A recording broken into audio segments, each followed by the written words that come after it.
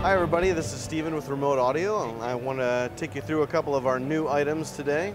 So to, to start off, we have the new uh, Bell and Light system.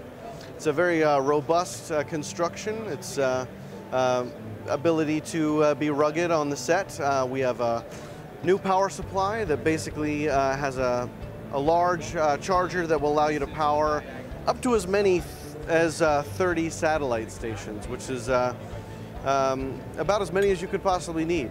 And uh, so we uh, have the new satellites as well. We've changed the uh, design uh, compared to what's out there. We've gone to a triangle design, which um, makes it uh, lower profile, and it allows you to have two lights instead of three, which uh, cuts down on your power consumption by 30%, allows you to have longer cable runs, and um, and also connect more to more satellite stations. So we have uh, three different versions of the satellite. We have three different size bells, so for different loudness. We have a four inch, we have a six inch, and coming soon we'll have an eight inch bell as well. It can all be daisy chained, and uh, the LEDs also have up to 15 different light patterns, all uh, internally switched, so they're easily accessible once you just take off the bottom plate. So that's new from us.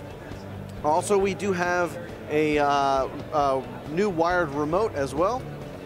In some of the previous versions, uh, uh, they have uh, switches that tend to break. This is solid metal construction with recessed switches.